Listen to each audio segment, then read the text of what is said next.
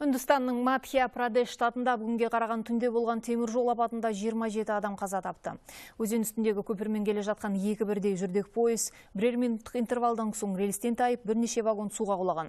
Жүз, шақты адам жараланды, дайверлер 300 адамды құтқарған. Әсіресе екі темір жол көлігінде нақты қанша жолаушы болғаны белгісіз.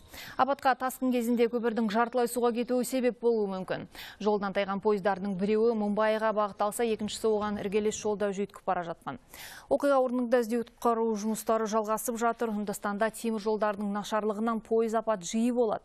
Былтырдың өзінде рельстегі қайғылы оқиғадан 25 мыңдай адам қаза тапқан.